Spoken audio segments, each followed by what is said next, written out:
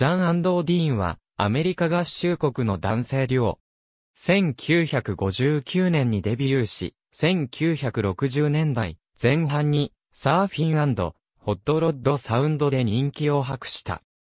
1966年にリーダーのジャンベリーが自動車事故を起こし脳を損傷、右半身麻痺や言語障害など後遺症が残り、活動停止を余儀なくされた。その後、再起を果たすも活動は低迷した。代表作は、サーフシティ、デッドマンズカーブ、パサディナのおばあちゃん。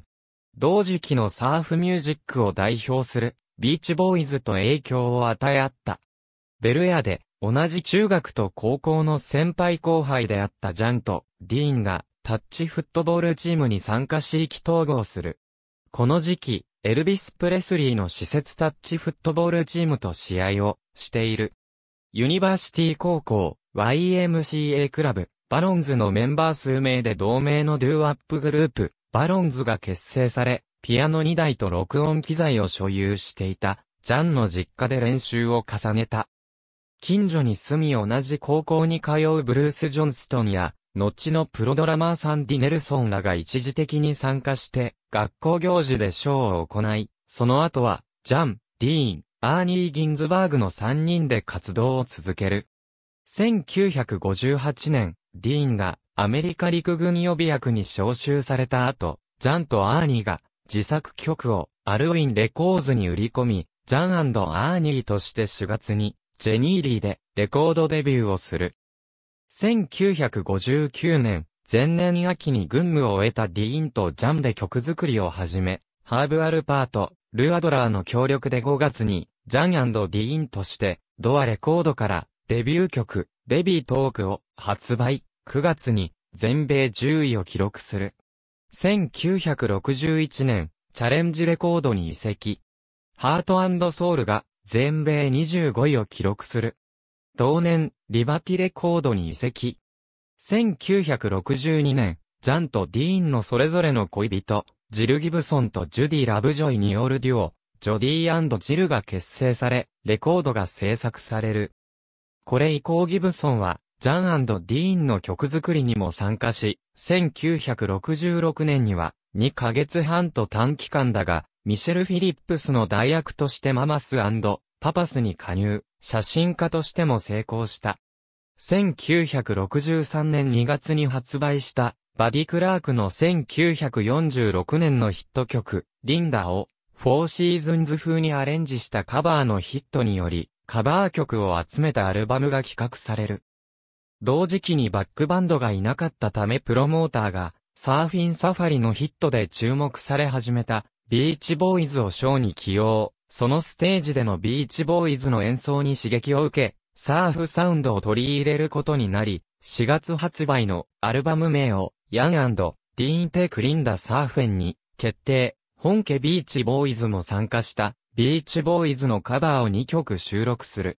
その時のセッションで、ブライアン・ウィルソンが提供した曲に、ジャンが作詞をしたサーフシティを5月に発売し、7月に2週連続全米1位を記録する。この時期に大学を卒業したジャーンは、エンジェルスやシェリー・フェブレーなどに楽曲を提供し始める。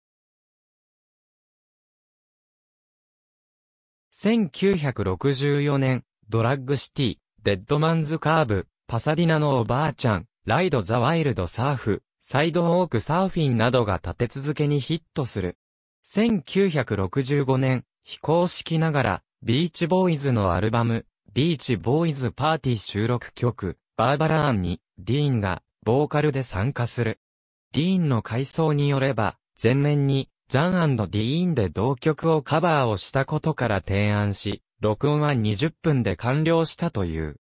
1966年4月12日、ビバリーヒルズで愛車のシボレーコレベットに乗車したジャンが、猛スピードで駐車中のトラックに追突。救急隊員が即死と間違うほどの大怪我を頭部に負い、2ヶ月以上昏睡状態となり、活動を停止する。以後は、自主レーベル J&D レコードなどからディーン単独作品が、ジャンディーン名義で発表されるようになる。1967年4月、ジャンが復帰。12月、ワーナーブラザースレコードと契約する。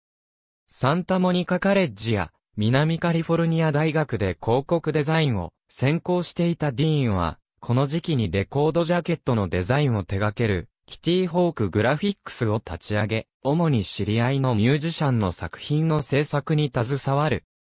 著名作品には、ダイアナ・ロスアンドスプリームス、レット・ザ・サンシャイン・イン、ハリー・ニルソン、ランディ・ニューマンを歌う、1972年に、グラミー賞最優秀レコーディングパッケージ賞を受賞したポリューションの、ポリューション、ビーチボーイズ、15ビッグワンズ、ラブユー、デニス・ウィルソン、パシフィック、オーシャンブルーがある。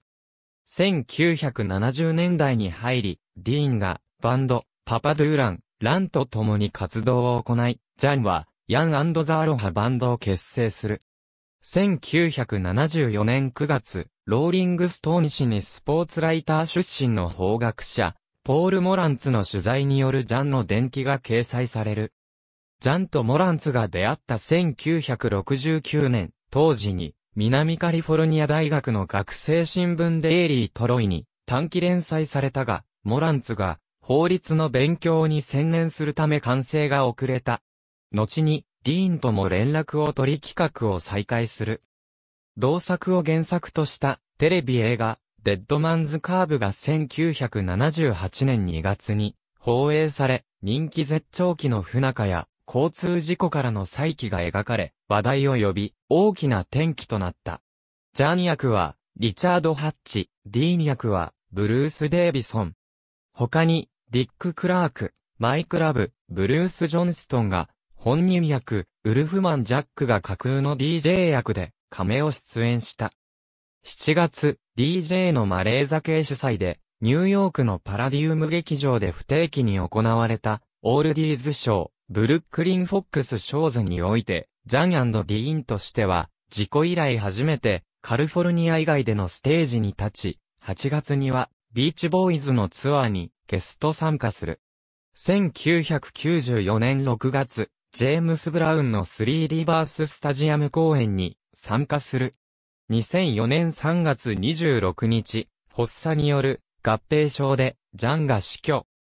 4月18日、ロキシーシアターで追悼イベント、A セレブレーションオブライフが開催される。同年11月申請、2006年5月に登録されたハンティントンビーチのサーフシティ USA の商標取得に関わる。ディーンは1990年代半ばから観光促進のための同ブランド構想を訴えていた。2008年、デッドマンズカーブがグラミー賞殿堂に選定される。2012年6月、ビーチボーイズ50周年記念ツアー、 The 50th Reunion Tour にディーンがゲスト参加する。テレビ映画西海岸の若者文化をうまく取り入れた作風や多重録音などジャンの音楽的才能が高く評価される反面、ビーチボーイズのような深みと芸術的な成長に欠けていたという指摘がある。2017年現在、ロックンロール殿堂には選定されていない。ありがとうございます。